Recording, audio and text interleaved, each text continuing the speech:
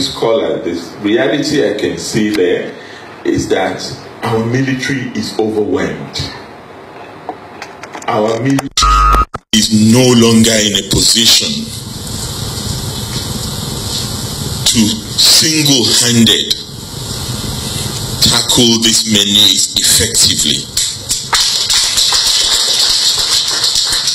And it's not a criticism of our military if one were to suggest a coalition building of resistance that would even include our neighboring countries who are better placed and probably more experienced in fighting asymmetrical wars.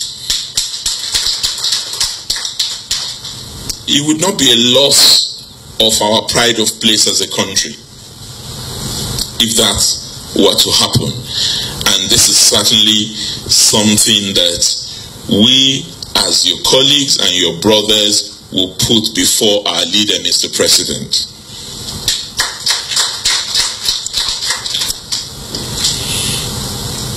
We can't bring back the people we've lost in the last couple of days. Just as we can the very many people we've lost in this over a decade menace that has been tormenting our people. But if we do not take the necessary steps, the entire nation will be consumed by this insurgency. And if not for anything else, even for our own self-preservation, we need to stand solidly with you, walk with you, assist in whichever way you want us to in ensuring that our government takes the right position in order to tackle this problem.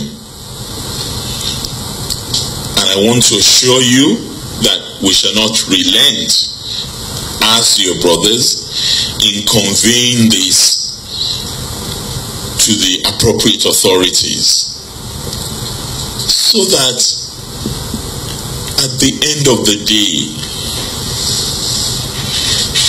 Nigerians, the good people of Borno, who are already expressive of their support for what you are doing. They see your selfless commitment, your passionate determination to ensure that they live in peace. They're able to go to their farms they're able to earn a living and they're able to live with people from all over.